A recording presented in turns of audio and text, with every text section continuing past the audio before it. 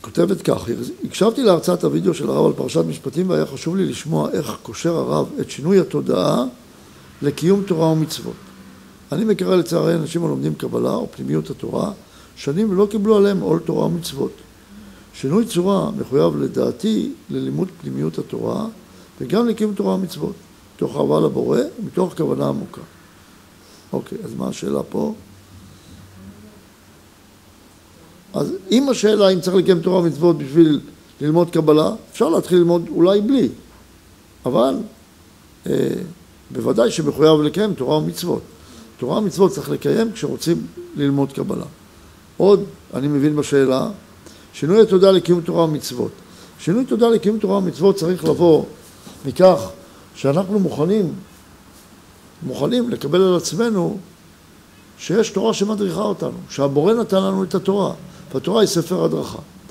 אני מבין את החילוני, או אלה שלא שומרים תורה ומצוות, שבאים ולומדים את פנימיות התורה, והדגש אצלם הוא דגש מאוד חזק על הנקודה הפנימית, והם צודקים בזה שהם רוצים את הנקודה הפנימית, אבל כמו בדברים אחרים שהם פועלים בחיים, הם, מגבים את המאוויים הפנימיים שלהם גם בפעולות חיצוניות. אם הם אוהבים את האישה, הם נמצאים איתה, הם מתחתנים איתה. אם הם אוהבים את הילדים שלהם, הם לא אוהבים אותם רק בפנימיות, הם קונים להם ארטיק. למה? למה הם לא נותנים להם ארטיק רוחני? הרי הם מגבים את האהבה שלהם בפעולות. רק איזה פעולות נכונות לגבות את המאוויים הפנימיים? אם נתנו לנו את סדר הפעולות שמגלים את המאוויים הפנימיים שבי, שרוצים לייצר עבודה ליתר דבקות, למה שאני לא אשתמש בהם? נתנו לי מן המוכן. יחד עם זאת, אני צריך להוסיף עוד מבחינת כוונות. לכן אלה שבורחים, או לא בורחים, או עוד לא הגיעו למקום שהתובנה הזאת התפתחה אצלם, צריך לדבר על זה. אולי להעביר יותר שהפעולה לא עומדת מצד עצמה, אלא היא מגרה משהו בתוכי כדי לעשות כוונה. נקודה נוספת בעניין הזה, יש כוונות שנעשות באופן אוטומטי בלב האדם כשהוא עושה פעולה חיצונית, וגם את זה אנחנו מבינים. כמו שהיינו אומרים לאבא, אל תכה את הילדים שלך. למה? כשאתה מכה אותם, באופן אוטומטי קורה לך משהו בתוכך שאתה לא מכבד את הישות הפרטית שלהם. וכשאתה מכה אתה חודר למקום שמגדיר את הפנימיות שלהם, את הישות העצמית שלהם. ולכן אתה צריך לא להכות. הוא אומר, למה? אני מכה ואני אוהב אותם. לא, לא. פה אני גם מנסה להראות פעולה שלמרות שאתה מייצר פעולה, אתה מבין, חש שפעולה חיצונית מייצרת באופן אוטומטי כוונה פנימית. אותו דבר המצוות.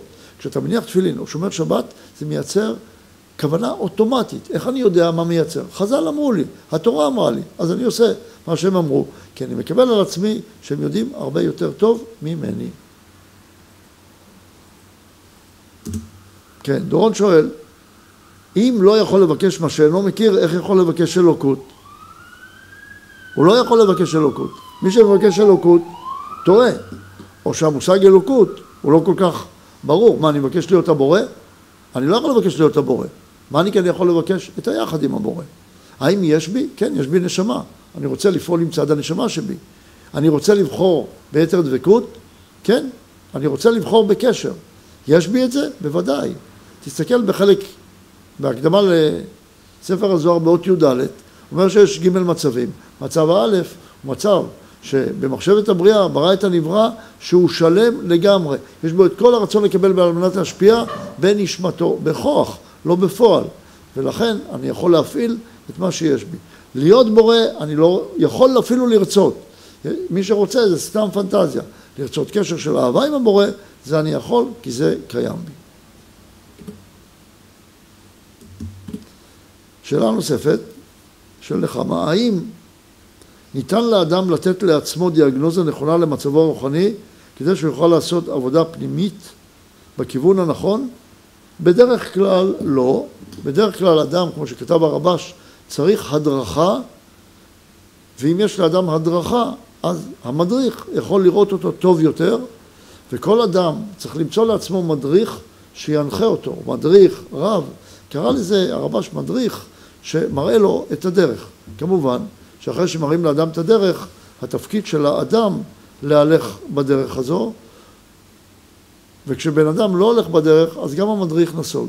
אדם שרוצה ללכת בדרך אמיתית, הוא גם מוצא את המדריך. יותר, כשאדם אומר, אני לא מצאתי מי שידריך אותי, זה בדרך כלל אדם שלא רוצה לעבוד. כשאדם רוצה לעבוד, הוא מוצא מדריך. ככה זה עובד. איך אני יודע? ככה אומר בעל הסולם. לכן אדם צריך לרצות, להשתוקק חזק.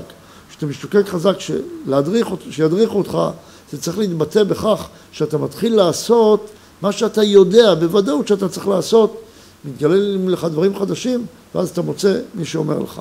רק מה, כשבן אדם אומר אני רוצה שידריכו אותי, רוצה שידריכו אותו להיות כבר במטרה, וזה לא עובד. מדריכים אותך לעשות את התנועות הראשונות, להכשיר את עצמך לאט לאט, ואם תסכים לקבל את הדרך, אז תוכל להתקדם. אז אם נסכם את התשובה, בדרך כלל אדם לא יכול להדריך את עצמו, בדרך כלל זה 99.9, שכל מי ששומע הוא לא המיוחד, שהוא כמו משה רבנו שיכול להדריך את עצמו, גם אותו הקדוש ברוך הוא הדריך, כל אחד צריך מישהו מעליו שידריך אותו.